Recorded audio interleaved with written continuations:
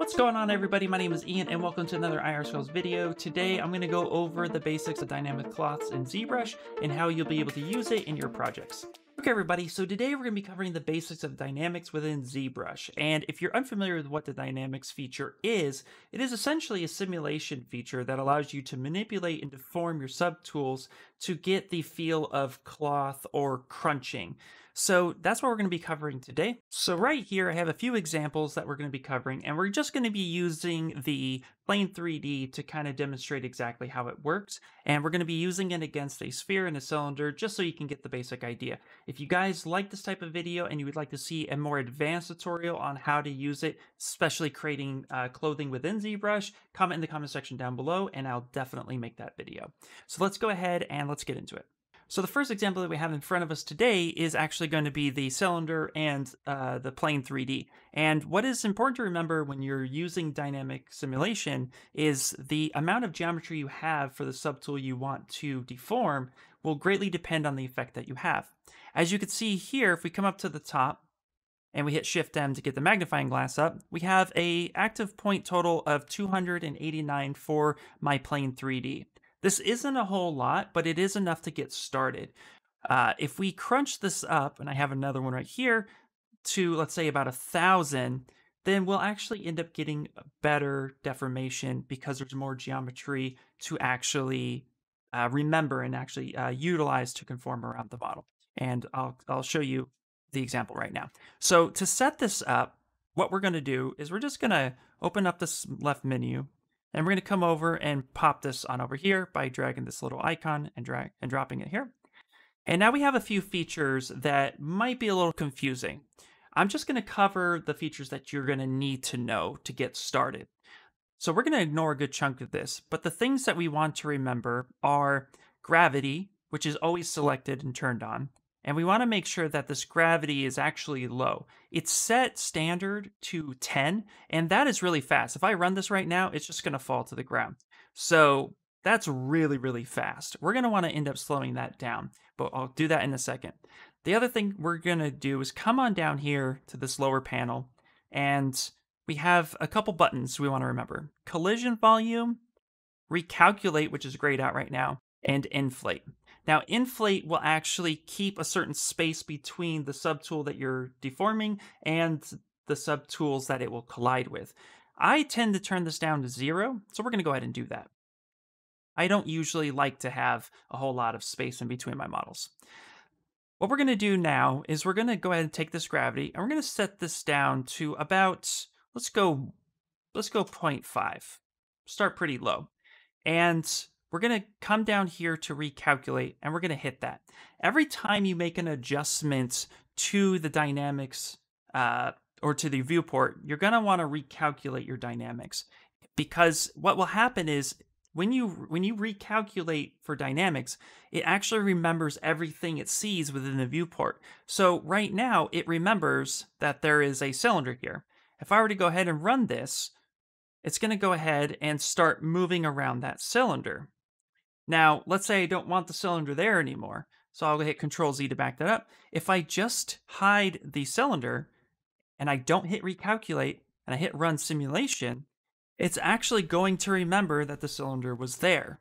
And while that's kind of a cool effect, that's not what we want. So we're going to want to make sure that we hit recalculate and then it will actually come up with an error saying collision can only be calculated for non active visible subtools, meaning it needs another subtool there. So we're going to go ahead and turn that back on. So I know that was a lot to take in, and Dynamics has a lot of functions and stuff within it that it can get confusing really quickly. So just to recap, anytime you make a change within the Dynamics menu, or you change something in the viewport, or something in the subtool palette where you end up maybe moving a subtool a little bit or make or hiding one. Anytime you make a change, just get used to hitting the recalculate button because that's going to ensure that the changes you make are officially set.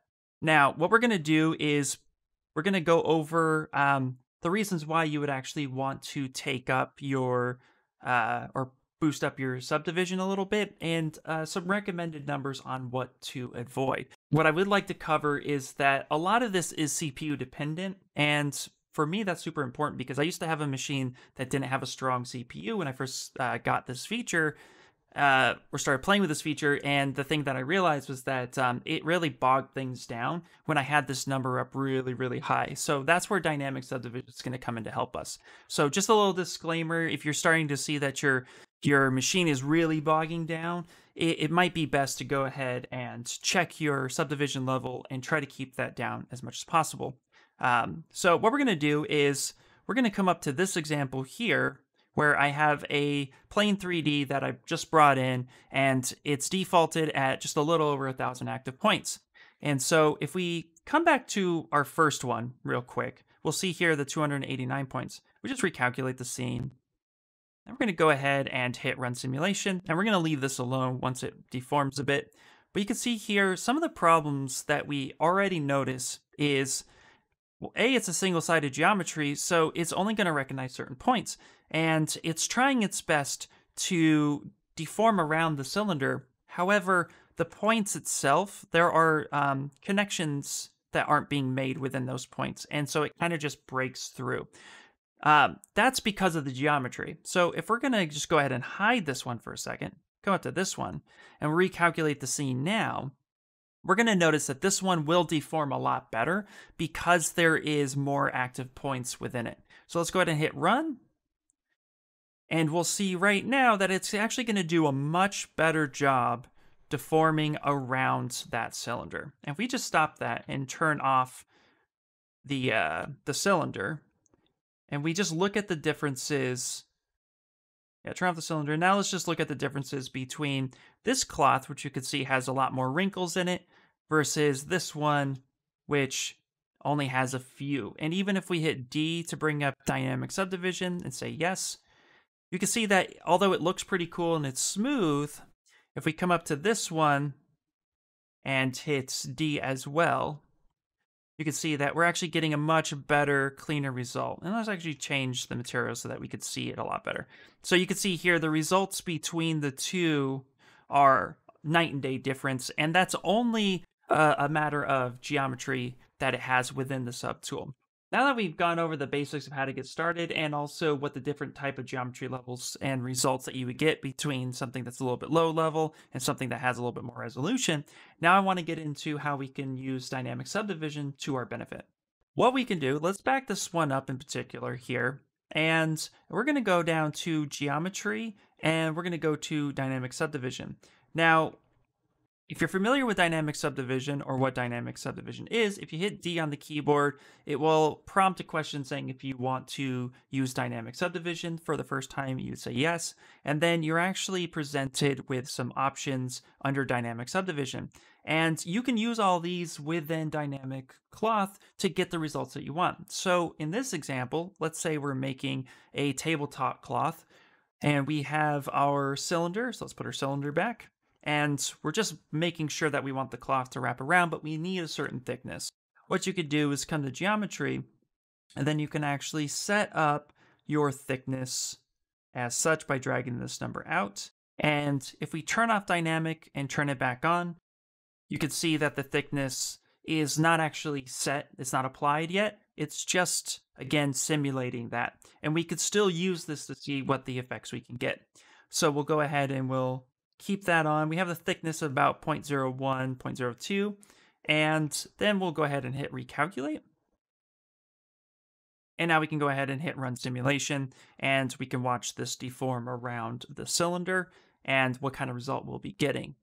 Once we get the result that we are looking for, we can actually come over here and hit apply. And if we just solo this out, we now have set geometry that is uh, formed the way we would like. And here's the thing to remember. Before we applied it, so I'm going to hit Control Z, if we come up to the top, this active point, like I said, is a 1,000 or just a little bit over because it's still recognizing it as dynamic subdivision, single-sided surface. Because again, if we turn this off, it's single-sided, turn this back on, and now that thickness is applied. Here's why you don't want to use such high subdivision. If we were to go ahead and back this up, and we're going to hit apply. We're now working at 33,000 and that's a lot of points for any computer to really uh, to really operate on. So if we go ahead and have that cylinder here and we hit recalculate, when, when we hit run simulation, it's actually going to really slow down. And this is not sped or it's not slowed down anyway. This is real time. It's really dragging on the computer. And this is kind of a good example to show you that the higher the number, the more information that ZBrush actually has to calculate. And while you might get a really nice result, it's almost a waste of time and waste of your machine's resource. And as you can see here, I, I'm still talking and it is still taking its sweet, sweet time. And again, the higher that number, the more intense it's going to be on your machine. So just really be careful about that. All right, so the last thing I want to cover is the transpose cloth brush. Now, this is a really cool brush because a lot of times when you're working with dynamics, if you just want to run a simulation and stuff like that, um, you can get some pretty quick results. But let's say you want something a little bit more custom. Let's say you actually want to kind of wrap something around or twist something. This is where the transpose cloth brush comes in. So we have a a uh, sphere, and then we have our plane 3D, and it's just a basic plane 3D at a little over a thousand points. And I have dynamic turned on.